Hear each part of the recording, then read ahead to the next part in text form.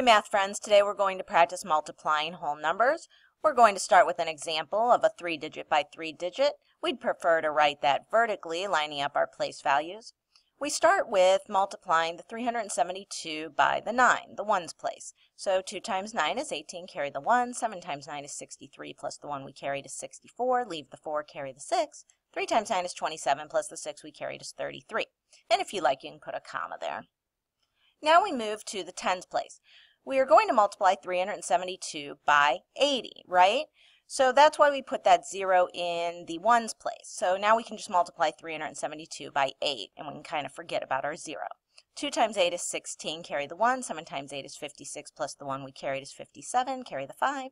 3 times 8 is 24, plus the 5 we carried is 29, and if you'd like, you can put a comma there.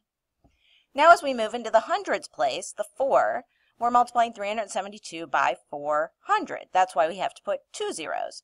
Now we can just do 372 by 4. 2 times 4 is 8, 7 times 4 is 28, leave the 8, carry the 2. 3 times 4 is 12, plus the 2 we carried is 14. Now we can just add all of these up to find our total. In the ones place, 8 plus the zeros is 8, 4 plus 6 is 10, carry the 1. 3 and 7 is 10, plus 8 is 18, plus the 1 we carried is 19, carry the 1. 9 and 8 is 17, and 3 is 20, plus the 1 we carried. 2 plus 4 is 6, plus the 2 we carried. And now we just have the 1, and finally, you are done. Whew, gotta be careful when you got a lot of numbers. Let's try this with a real-world example. I know you're excited. So we have a company, it's going to print 1,825 books every day, and we want to know how many they print in 174 days. So we can find that total using multiplication. All right, so let's work this out together. Hope we have enough room to get all these rows in. So we start with 1,825 times the 4. 5 times 4 is 20. Carry the 2. 2 times 4 is 8, plus the 2 we carried is 10. 8 times 4 is 32, plus the 1 is 33. Carry the 3. 1 times 4 is 4, plus the 3 is 7. Now as we move into the tens place, we want to account for the fact that it is the tens place. We put that 0. Now we can do 5 times 7 is 35, carry the 3. 2 times 7 is 14, plus 3 we carried. 8 times 7 is 56, plus the 1 we carried. And 1 times 7 is 7, plus the 5 we carried.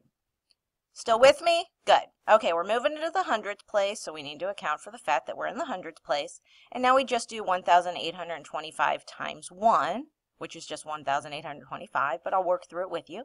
5 times 1 is 5, 2 times 1 is 2, 8 times 1 is 8, and 1 times 1 is 1. Now, finally, we can add all of the zeros in the ones place. There's just a 5 in the tens place. We have 3 plus 7 is 10 plus 5 is 15 here. Carry the 1. 7 and 7 is 14, plus 2 is 16, plus the one we carried. 2 and 8 is 10, plus the one we carried. And finally, our answer. So multiplying these large numbers is just a matter of keeping things nice and tidy.